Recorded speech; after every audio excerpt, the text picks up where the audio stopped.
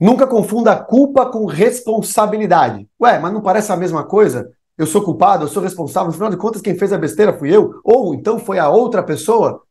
Na verdade, não, e tem uma grande diferença. Principalmente se você estiver passando por um processo de separação ou divórcio, você não entender qual a diferença de culpa e responsabilidade pode colocar em xeque-mate as suas chances de conseguir ter essa pessoa de volta com você no seu casamento e assim por diante. E eu vou explicar isso detalhadamente, inclusive dar uma saída de como utilizar isso de forma inteligente a seu favor nessa situação que você está vivendo.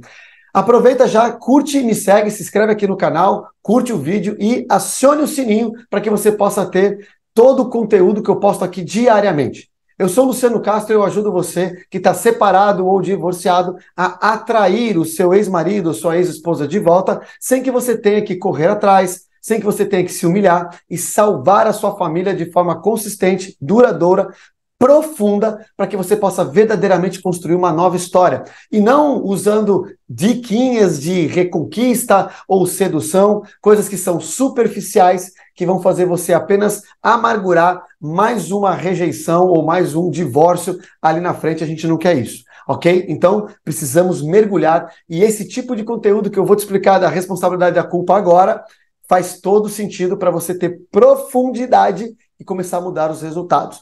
Vamos entender então, primeiro de tudo, a culpa. A culpa, ele é um sentimento que está ancorado no passado, alguma coisa que eu fiz e hoje eu me sinto culpado. Então, primeiro olha o nome, culpado. Caramba, tem um peso realmente, sabe, assim, que vai te travar. Vou explicar por quê. Quando você, por exemplo, imagina que você está num júri, tá? Num júri, um tribunal, onde tem lá o réu cometeu um crime, etc. E aí, num determinado momento, eles vão lá, vão fazer passar a sentença, o veredito final daquele réu. Quando o júri levanta e fala assim, ó, qual é o veredito? E ele, eles viram e falam o quê? O réu é culpado. Quando eles falam o réu é culpado, eles estão condenando. Não existe, entre aspas, mais recursos naquele momento a pessoa está condenada. A condenação te coloca em processo de paralisação. Então a própria palavra em si, ela te convence que não há nada que você possa fazer. Como que eu posso mudar uma coisa que foi feita no passado? Eu não posso mudar mais, agora já era. Eu estou condenado. Então entenda, culpa é igual a condenação no mundo emocional e comportamental. Mas vamos ainda desconstruir ainda mais essa questão da culpa. Olha que interessante. Quando eu falo da culpa, principalmente com nós mesmos, ele nada mais é do que um ressentimento. Eu fico ressentido comigo mesmo. Eu falo, caramba, não devia ter feito, que idiota, e tal, tal, tal, e começa, devia ter prestado mais atenção, e começa a se culpar. A culpa, por sua vez, ou seja, ressentimento gera a culpa. A culpa, por sua vez, ela gera uma crença em você de não merecimento. Olha que louco. Então, o que, que acontece? Se eu sou culpado, eu não devia ter feito, etc. Eu tenho esse ressentimento comigo e eu não consigo me desvencilhar disso porque eu estou condenado, então eu não mereço coisas boas. Isso é inconsciente que eu estou falando. Então veja, a culpa gera crenças de não merecimento.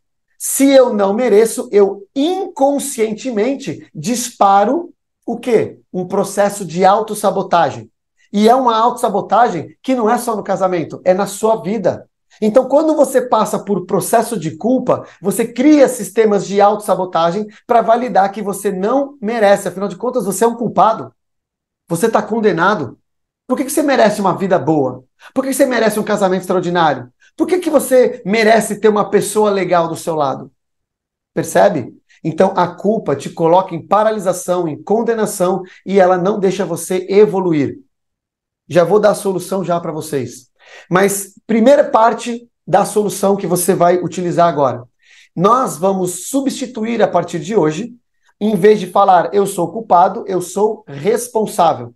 Luciano, mas não é a mesma coisa? Entenda agora a sequência. Primeiro, eu não tenho esse peso da interpretação. A própria palavra em si, ela tem uma energia. Quando eu falo eu sou responsável, eu não estou negando o que eu fiz. A responsabilidade me coloca em ação me coloca em transformação. Então, enquanto a culpa me coloca em condenação, A responsabilidade me permite a transformação. Então, sim, eu sou responsável, eu não nego o que eu fiz. Estou pagando, inclusive, as consequências. Mas a responsabilidade me permite, me permite mudar o futuro. Me permite mudar os meus comportamentos. Me permite estudar. Me permite aprender. Me permite me perdoar. Quem não passa pelo processo do arrependimento verdadeiro e um processo de auto-perdão não consegue desenvolver o processo de transformação. Então, por mais que a pessoa queira evoluir, por mais que ela queira, enquanto ela não se livra do peso da culpa, eu entro no processo de autossabotagem. E mesmo que eu esteja evoluindo, mesmo que eu esteja querendo melhorar, quando as coisas começam a dar certo, a autossabotagem entra no jogo e eu inconscientemente me livro das coisas que eu estou construindo. Não é à toa que as pessoas falam, cara, basta começar a dar certo e parece que tudo desanda. E a pessoa fica entrando num ciclo de autodestruição. Então, o primeiro passo para você não voltar a alimentar novas culpas futuras é aquela história que eu falei. A partir de hoje eu entendi. Putz, eu errei. Eu sou responsável. Mas agora pela responsabilidade. Eu vou olhar com responsabilidade e vou mudar, vou aprender, vou evoluir. Eu vou mudar os novos resultados para não voltar a viver o passado. O teu futuro só vai ser igual ao seu passado se você ficar vivendo no passado. Quando você vive nele, lamentando, etc e tal, você está co-criando o seu futuro, porque é a única referência que você tem para poder criar algo. Quando eu consigo desassociar, primeiro, não gerando mais culpa para poder me permitir uma transformação, e segundo, passando por um processo de auto-perdão.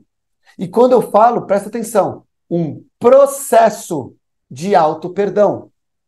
O auto-perdão, eu falo assim, não, não, não, já me desculpei, tá tudo bem. Eu preciso verdadeiramente e emocionalmente, porque isso está instalado no meu subconsciente, matar essa culpa que está me matando.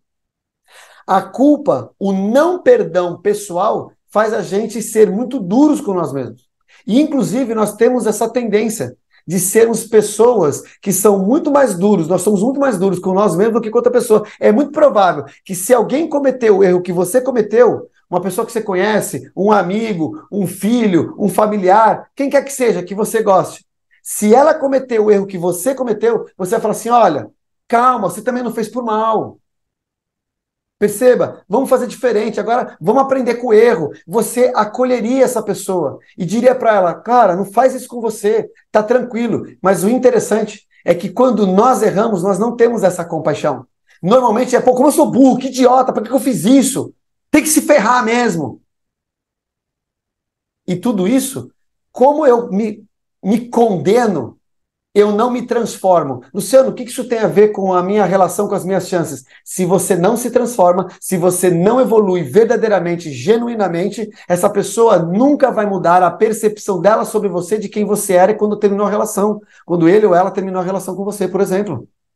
Por que, que terminou? Porque a percepção dele ou dela sobre você era de dor, era de sofrimento, era de muitas brigas, era de controle, de ciúmes. E tudo isso foi fazendo a pessoa perder admiração, ou até mesmo de insegurança, de uma dependência emocional sua, uma pessoa que é agradadora. Eu fazia tudo por ele, Luciano. Uma pessoa agradadora faz a outra perder a admiração. Tudo isso são comportamentos. E aí, quando tem um rompimento, muitas vezes você olha e fala: caramba, eu devia ter feito diferente. Aí vem a culpa, o remorso. Só que ela não sabe o que fazer com isso. Então, veja, dois, duas vertentes que você vai ter que trabalhar. Primeiro, a partir de hoje, eu não sou mais culpado, mas eu sou responsável. E com isso, eu vou aprender, vou evoluir, vou fazer diferente para que eu salve meu futuro e tenha resultados diferentes no meu futuro. O segundo ponto, qual que é? Eu aprender a passar e me permitir passar pelo processo do auto-perdão. Para que eu possa me libertar dessas amarras da culpa que hoje eu me coloco em condenação. Então eu preciso passar pela minha própria confissão, por exemplo. Não estou nem falando do mundo religioso, espiritual. Estou falando eu entender, aceitar, encarar, percebe? E aí me passar um processo de arrependimento, de perdão, um processo que é de repetição, inclusive, para que eu possa me libertar disso. Com isso, eu começo a soltar essas amarras, soltar essas travas e me permitir novos processos, novos resultados satisfatórios, aonde eu não vou entrar mais em autossabotagem. É isso que eu venho ensinando no meu canal, que eu ensino no meu método para os alunos, nos meus eventos gratuitos que eu faço aqui na internet, para que a pessoa aprenda a acessar o emocional dessa forma, se libertar dessas amarras para que ela possa verdadeiramente fazer uma transformação para mudar a percepção do ex ou da ex e ela possa ter, então ter uma nova oportunidade do lado dessa pessoa, mas completamente nova. E não voltando para uma relação que era quebrada, que era às vezes até abusiva. Não. Se você está forte, se você está evoluído, se você emocionalmente está blindado, você tem capacidade, inclusive, de se posicionar e saber o que verdadeiramente você merece. Então lembre-se, se eu tenho um processo de culpa comigo, eu tenho uma crença de não merecimento e eu acabo aceitando qualquer coisa, porque qualquer coisa é melhor do que nada. Afinal de contas, eu não mereço o melhor. Vamos quebrar tudo isso, porque isso vai mudar a sua postura, os seus resultados rapidamente. E aí você vai ver a mágica que vai acontecer com o seu ex ou com a sua ex. Então, se você quer saber como fazer isso, me segue aqui no canal, compartilhe com pessoas que você acha que faz sentido, que está se culpando demais, para ela entender e sair desse limbo e começar a gerar transformação e não uma condenação. Te vejo no próximo vídeo.